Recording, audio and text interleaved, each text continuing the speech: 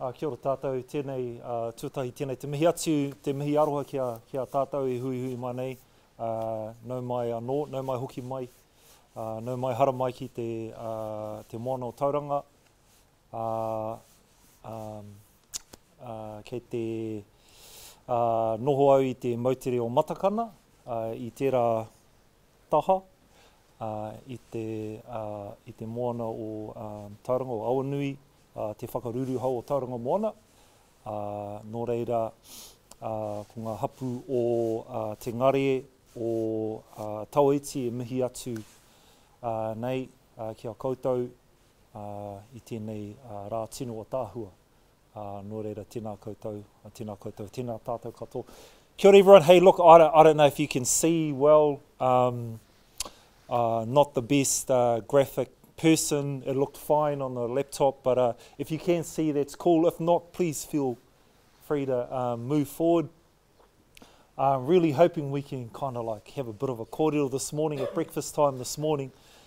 Uh, we're just kind of a few of us sitting around the table uh, involved in different research topics, just kind of tossing ideas, and that was actually pretty cool. So, um, hoping we can do something similar today. That if you've got questions, partai, uh, and even feedback. Actually, really, really appreciate any thoughts, feedback on uh, what we what we're doing, what we've done, what we're trying to do, and what we're yet to do in terms of this uh, this project, this uh, rangahau uh, research project uh, called Kia Tika Te Hi Ika, uh, and it's all about um, for us as iwi.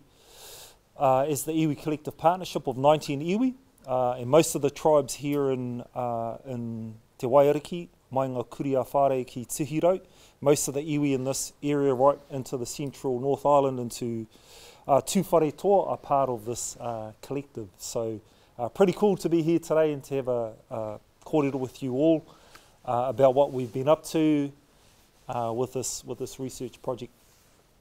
Uh, but firstly, can I just introduce, so uh, Maru Samuels, uh, been involved in um, Māori fisheries, iwi fisheries for or almost 20 years now.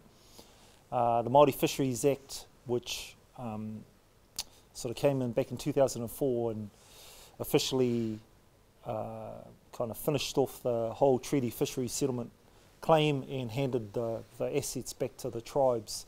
I came in in 2005. Uh, so been involved for, for that long. Uh, and also just want to introduce uh, Irene uh, Irene over here, kia ora Irene. Uh, Irene's been our main uh, researcher um, that's helped, helped us through this project. As Julie said, I, I'm not a researcher. Uh, and for the iwi collective, I, I wasn't. Um, I've now learned how hard it is, especially writing a report. Um, we're almost finished, Julie. I'm going to read some parts of our report uh, today. Um, but um, yeah, you know, and there's some massive, awesome learnings in that, just being a part of a research project. And for the first time for our collective, our collective is uh, 14 years old this year, and it's the first time we've ever done research. But it's actually changed the way we now think about research. I think every business, every organisation talks about, you know, the importance of research and R and D, um, uh, just being able to uh, secure this research kaupapa uh, with the support of Sustainable Seas uh, and with the, you know, with the um, big challenge and the awesome, well, I believe it's a really awesome kaupapa that we've, that we've chosen to pursue. Uh, it's actually changed the way we think uh, as, as a tribe, uh, as a collective, as the board, um, and uh, for me as the former CEO of the, of the partnership, um, where research now is just a part of how we operate.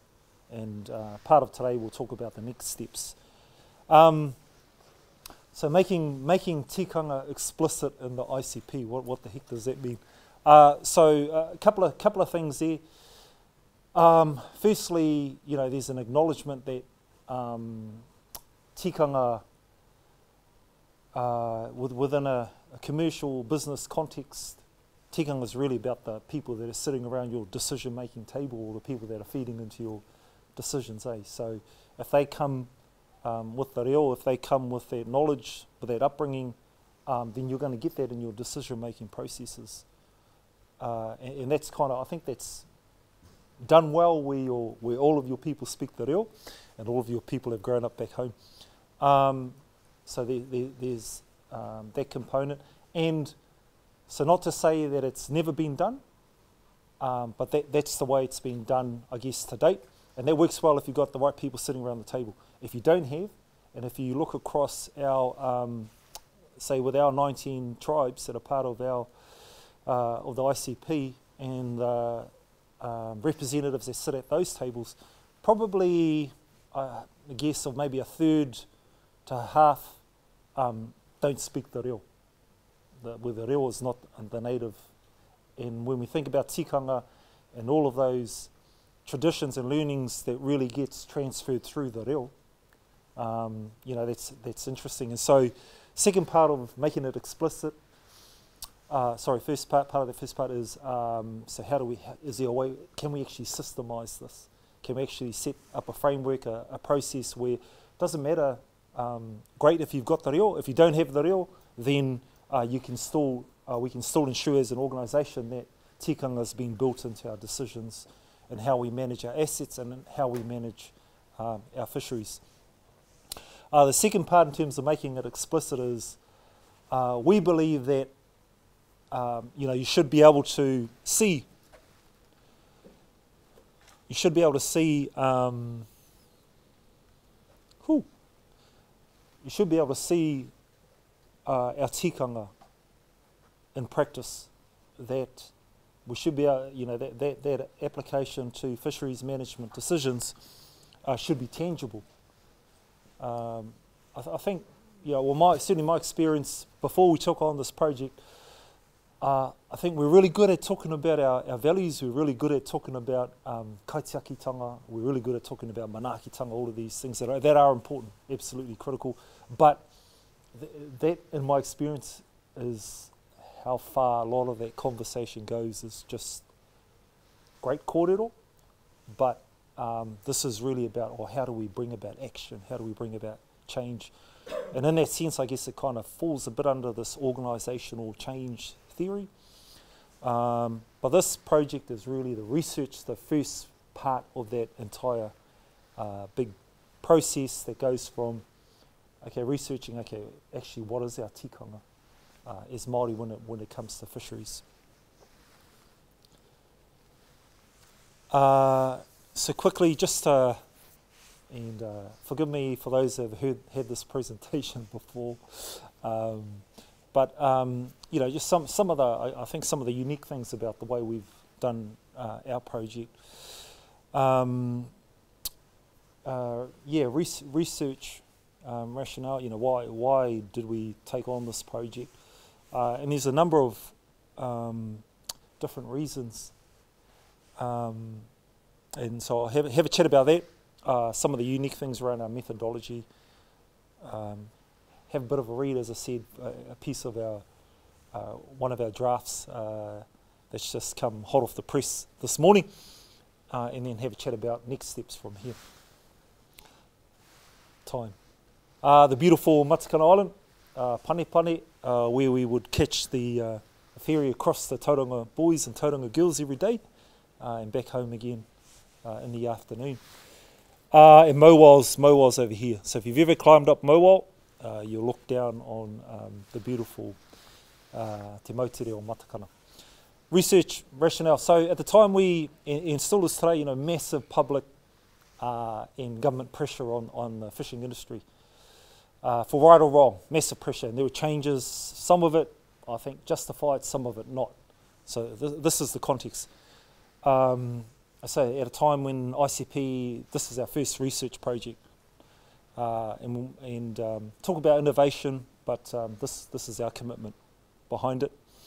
Um, you know, uh, a hunch, a belief that there must be some value in our tikanga, not, not just in identity and who we are and doing the right thing, but there must be a, you know, a hunch that there's some business, there's some commercial value in that if done in the right way.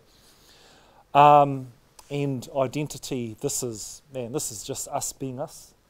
Uh, you know, for a while there, I think we kind of, uh, you know, being in the New Zealand commercial fishing industry and global fishing industry is, is damn hard. Seafood, and doing it right is really hard. So I think rightfully for those first decade, most of the tribes just focused on bloody keeping the boats afloat and uh, you know keeping the doors open. Um, but now, now we've got to a point where hey, we have we have a decade of learnings now. Um, how do we now reconcile, bring back together our identity as Māori, those things that make us unique, and those things that uh, drive our value system, and how do we actually uh, bring that back into the commercial business? Because that's who we are and that's the way we roll. Um, and so, you know, we've had a number of wānanga over the last couple of years. I think originally the project was supposed to take uh, 18 months, maybe. Is that right, Irene? About 18 months. Uh, I think we were into year three, I think. Um, and almost finished, almost finished, Julie. Um, but you'll be, um, you guys will all, all uh, love uh, the report once it's once it's out. Um, interviewees, we did something quite unique. We interviewed people uh, that are matatau, um, you know, that, that understand tikanga, have grown up in it in that, in that world, and uh, we did um, six interviews, seven, six interviews, seven interviews and 99% of those were, were fully i roto i te reo. Um, Iruwera Lee Morgan uh, did our interviews, ran our interviews, um, and has, um, is doing that part of the, of the written report. Um, but all of those people had a connection to the ICP. And all of those people had an understanding not just of tikanga, but of commercial fisheries and how that operates. Uh, you know, one of my observations is it's quite rare to find people that actually understand all of those mechanics. Um, can come across a lot of people of our whānau, whoever, talking about fisheries issues and their view on stuff based on tikanga, but their view of, or the reality of what actually happens when you're out deep sea fishing is actually not right, is incorrect. So, you know, it's important to, I think, and it was important to us within this project that we had people, and, and those people are hard to find. But that's the way we, uh, we did it. Uh, we had wānanga, so we uh, worked with our 19 uh, representatives from the 19 different tribes, and we got together a few times over the last uh, few years. That one was here in Tauranga down at the um, so Trinity Wharf. Um, I think we lost all the photos of the actual wānanga. That's, I think that's the after social event. Um, we had to make them small to cut out all the alcohol around the outsides. Um, and then we interviewed some of the ICP uh, board members and uh, CEO and those sorts of ones. Um, and, and, the idea here is that we want to build, uh, yeah, what we're calling a tikanga assessment framework. Uh, yeah, yeah. Enough said about that. uh, so the, these are just some of our snippet of some of our uh, early findings. And um, I'm gonna I'm gonna ask Irene to, to give me a bit of a hand with this. But uh, you know what's really interesting for me is that uh, I'm, I'm on the um, Te Ohu board, and Te Ohu's running a similar process uh, with the 58 tribes that are involved in the in the national uh, fishing uh, structure, and um, and that, that process has been run by or facilitated through uh, Te Ori Paki. And uh, there was a wānanga up in Auckland only about a month ago. And so two, two different processes, two different methodologies, um, but uh, and, and maybe a little bit of a difference in the terminology, but those two processes pretty much in my, my view on it, they come back around and end up at the same point. Uh, you know, which shouldn't be a surprise, uh, but that's just really cool when you see that um, happening.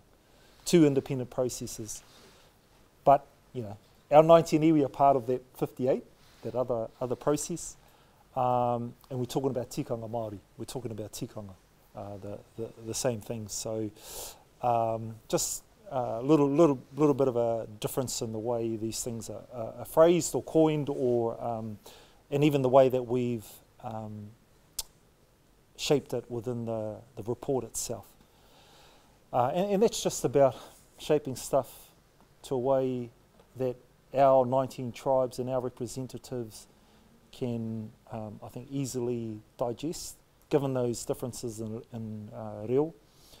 Um, and given that it's, it's going to be those people that are going to have to apply this stuff in practice, right? So you've got to understand this uh, enough to be able to apply it to everyday decisions around um, how do we deal with the challenge of bottom trawling, you know, which everybody has a view on. Um, actually, if you think bottom trawling is wrong, put your hand up. If you're bold enough, if, if you just based on what you've heard, what you know, if you think it's wrong and should stop, bottom trawling, see yeah, yeah, one, two, three, four. The way it's done currently, yeah, yeah, yeah, yeah, yeah. I've got half a hand over here, half a hand, yeah. Um, and if you're bold enough to say, no, I think I, I, I know, I understand how it works, and I'm okay with it. If you're bold enough to put your hand up, put your hand up, please. Yeah, a couple of us, a couple of us, yeah.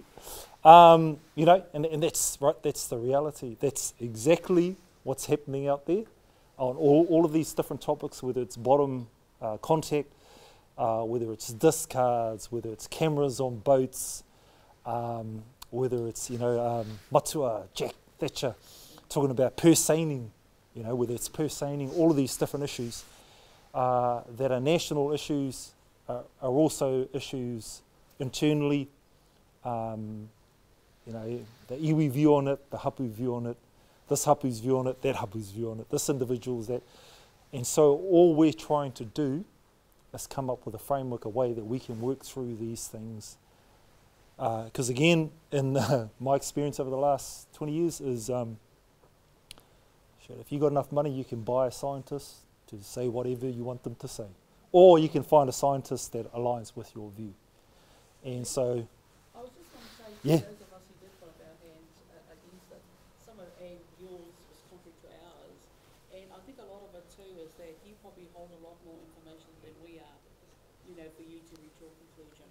I mm. think that's um, that's common um, in any institution or organisation uh, versus the the community. Is that the communities are, are never that privy to the information held within the institutions. Yeah. So you know, uh, yeah. So t- uh, well, not today, but it'd be interesting to know what you know that we don't know for you to to draw yourself to that conclusion. Yeah. Yeah. yeah cool. No, no, abs- absolutely, absolutely, and um, uh, yeah, and again, that's been kind of reinforced through our research project. Um, even, even as say with our the people we've interviewed, and their different levels of knowledge on different things, um, and, and, then yeah, and you, you get the whole um, spectrum, eh? And so, hey, it doesn't really matter what happens. I don't really care. It's wrong, you know. Uh, um, but but, um, and so where we have to get to as the ICP is uh, we, the collective, uh, looks after these assets on behalf of the 19 tribes. And so we have to get to a point where unless we're saying, oh, let's shut the doors on the business, and um, you know, how do we how do we make how do we continue to thrive, and actually not just thrive, how do we um, actually do better than maybe the current trajectory that we are. Yeah, yeah. You've got all that many iwi around the table, and I'm thinking, wow, yeah. I'm in awe that you, that you have got, but you're obviously progressing in space. But how do you? Is there a uh, is there a common thread within all of those iwi to enable you to uh, proceed collaboratively? Because I would have thought that would be quite a, a hard space to manage given all the different iwi. Um, given though, you know, probably some com- commonalities around values and that, know, mm. talk about like, yeah, yeah, so, you know, that, that's common. Yeah. But are there, are there any um, examples where it is a struggle in the collaborative, collective process that you've got to follow yeah. with all those iwi in the room? Yeah, yeah, hu- huge. Um, yeah, there's there's um, yeah there, have been issues that have almost broken the collective in half, um, and even within our research project, as I say, there are different views right across, right? There, there are some views that come out that, um, you know, we, we have a we have a one of our approaches as the collective is um, we work with Maori seafood businesses um, to which we have a connection, either through a shareholding as one of the tribes, or yeah, effectively we work with our own. That's that's one of our policies. Um, and one of the views that's strongly put in our research is no, we should be actually doing more to build our own people, support our own fishers in our own backyard, not not the national kind of even even albeit they are Maori seafood businesses, you know. So a real real um, uh, cry to get more support in ten minutes, more support in our own backyard get our own things up and running. Uh, but one, one of the things that does that drove us together and does help, uh, you know, part of the um, adhesive is, um, you know, the, the quota, the way the quota system works and the shares that you'll get as iwi through the settlement is quite small and it's really hard to, to make it on your own and you, you will survive and you will do far better and you will stay off the front page of the Herald does Herald still exist today? It does, yeah. Online, on, front page of the online Herald. Um, if you you do better if you if you work together collaboratively with other iwi, and you share, you know, you share expertise, you share resources, um, you go into investment opportunities together, and, and that's worked well. Started off as 12 iwi, and grew to 19. Hopefully, um, maybe 2021 in the next uh, year or two. Yeah. Um, but look, the, these are some of the, just some of the, quickly, some of the themes. Um, when am I going to ha- hand it over to you, Irene? um, I, I, might, if you want to have a chat about this stuff, just, just as Irene comes up, um, I want to tell you about this impacts of colonisation oh, you know, when they come up, eh, we were having our our researchers together over at Rotorua a few months ago, and this one come up, I was like, oh, you know, bloody, you know, do we always have to go on about colonisation? And um, I, I, think we kind of got into a mentality of the last um, wee while where we're just like, oh, we're just going to get on and do it. Colonisation is colonisation. Yeah, we've all been colonised, and but you know, your mindset because it's so challenging out there. Um, but then our researchers were like, no, no, no, you actually got to go back and acknowledge, like when you look at the massive impact and your loss of, or your um, loss of mātauranga today, and your loss of knowledge of tikanga and all those sorts of things, uh, you know, you can't, you can't sidestep the impacts and effects of colonisation and what it's had on our people over the last 150 years. And not just that, but, you know, the removal of our people from in the fishing industry, beginning back with the um, oyster fisheries Act back in 1866, I think it was. So, you know, Maru, you just need to, uh, you know, chill out and um, actually so, so there's a piece in there that acknowledges those impacts um, that have helped put us into the challenging position that we have today uh, to deal with these things. Shall I carry on, Irene, or did you want to have a quick? I'm, I'm going to, as I said, Irene's been our main uh, research lead, and, and, you know, Maru, no, that's not how you do research, and no, you've got to think about these things, and um, we're grateful to have had or have, have to have Irene as part of the team. You can hold it, I can switch it for you. Kia ora. Kia ora koutou. Um, just quickly, Irene Kiriama Royal, tōku ingoa um, he uri a hau no nā puhi uh, nui tonu i te tai tokerau. uh, tai mai ki pare hauraki, um, hoki mai ki wainga te motu anō hoki ko Ngāti Maniapoto, Ngāti Tūwhare Toa me Ngāti Raukawa Te Autonga.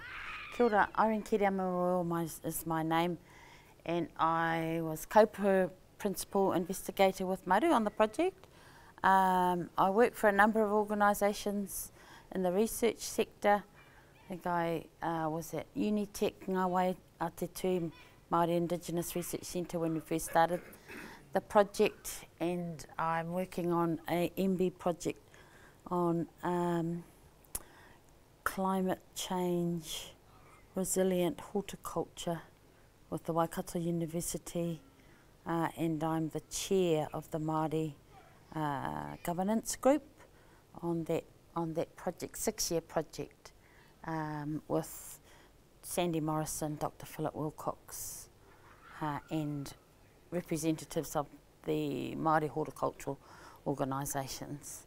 Um, one of the things that we, uh, and I've been a researcher for um, a number of years, uh, one of the things that we um, dis discover quite early in this project, as with a, uh, uh, one other science challenge project that I'm closing up on, um, and a Health Research Council project, oh, and a Waitangi Tribunal project, is where do you start your story or introduce your story about traditional Māori values and principles? Where do you bring that into your, your research project? Even if, say for this one, you've got quite a contemporary sort of question to answer. So the question, and just in case people hadn't caught that from Maru's kōrero, the question that ICP wanted to ask was, what are the traditional Māori fisheries values that we should be upholding or that we should be recognising. Where do we get that mātauranga from? And then maybe at a later project, can we think about how do we integrate that into our commercial business practice? So if you didn't catch that, that oh, sorry, that was three questions, but that was the question we were looking to answer. um, and fortunately, I think what's kind of saved our nono in this research project is that the mātauranga was so rich we stayed there. And so in answer to your question, Kare, around what would ICP kind of try to do to look at solutions or, or altering practices, not there yet. Not there yet because the mātauranga asked us to stay a bit longer.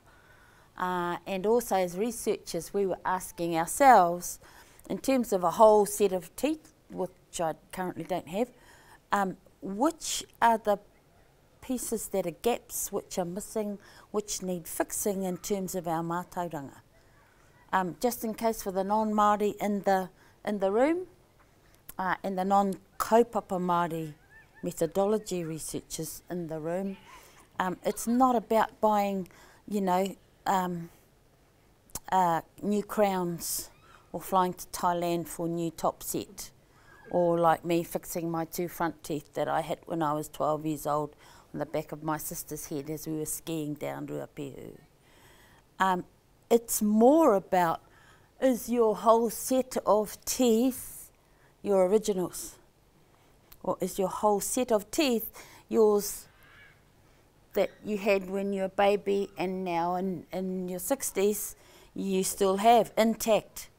Um, people like Dr. Charles Royal uh, would say there is a paucity at best, a paucity at best of mātauranga Māori remaining available to us. And so when we do projects like this, we need to honour that part. That's what the decolonisation aspect was about. And I think probably I'm talking to three quarters of the room who already know this, but know that in this project we acknowledged that in our process of how we treated having mātanga, you know, Māori experts and us as researchers picking apart the bits or the teeth that we didn't want in the whole kōrero. So questions we answered were, what is it that we should not do to their interview responses? for the science challenge. One of the things we decided early was that the science challenge we're not going to take our early findings or any comms releases and just kind of land them on a piece of, piece of paper and put a diagram on it and say, here's the ICP's research project. We want to wait till the end. We want to wait till we've finished writing. We want to wait until we've got a full set of teeth so that our kōrero can come out tika. So we called our project Kia Tika Te Ika and we used decolonising research methodologies from the beginning. which meant that Maru and I weren't going to translate because we're non-Māori or natural speakers, weren't going to translate what we thought we heard the speakers say. So we used mātanga uh, Māori experts even to help us understand, not translate, but understand what had been said. So, just to name drop, sorry, and then I'll leave it there, just to name drop, we asked Iruida Morgan if he would do the interviews. Then we asked a woman by the name of Tawi Rangihau, who is John Rangihau's, one of John Rangihau's older daughters, to provide us researchers with a translation. We then asked her younger sister Kararaina Rangihau to facilitate the first workshop after we had disseminated all those interviews amongst the ICP members to explain to us how she would have provided findings and analysis, which gave us, they gifted us the tikanga analysis framework of Sir John Rangihau, which is Te Kauairunga and Te Kauairaro. So two, two jaws together, two jaws together. Kauai is a chin. Kauairunga is the upper house kōrero, spiritual, whatever you want to name it. The kawairaro is us. So they described it as what happens inside the wharenui is kawairaro.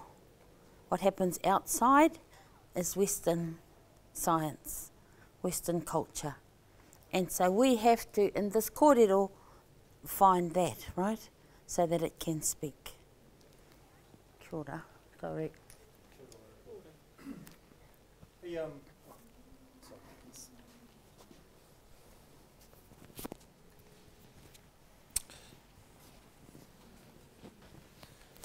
Hey whānau, um, look, I think I think we've got the next presentation up. So um, I'm just going to actually cut it there. Um, but hey, happy to have a cup of coffee. Um, got some had a piece from our research, uh, which we are in about. And where do we start? And we've, we've actually started from Hawaiki and brought that through into uh, we right up to where we are uh, today. Um, we do intend to, to carry on with this project. So this is really just a, a toe dip in the water. I, th- I, thought when I first went into this, I thought we were going to answer all the world's problems. Um, and realised, oh, okay, no. Um, back, back a slide. Yeah, so um, uh, tikanga assessment framework. Um, so this is, as, as Irene said, this is the research piece. Um, you know, we work through when it comes to say bottom trawling. Actually, if we were to stop bottom trawling overnight, um, what's what's the impact on the business? So then, what are the options? If it's if it's severe, what are our options? Uh, what are we actually going to do? Uh, and then, how do we build a brand around our changes that we've made? One example, right? for the last 10 years, we've never fished our eel um, quota, our tuna, even though um, Ministry of Fisheries says, uh, Fisheries New Zealand says, yeah, it's fine, you're allowed to. Uh, that's, so we've left um, 500, half a million dollars on the table. That's just one example of where iwi have actually taken action. We do a lot of those things. How do we actually tell that story and build that into our brand going forward? That's, that's the last piece that we're going to that we're to do. Um, so that's us. As I said, look, love to have a cup of coffee, um, but don't want to tune to our next uh, presenter's time. So, kia ora tātou. Thank you, Irene. Uh, Greer is another person involved in our research project. Greer, um, have a chat later on. Kia ora tātou. Thank you.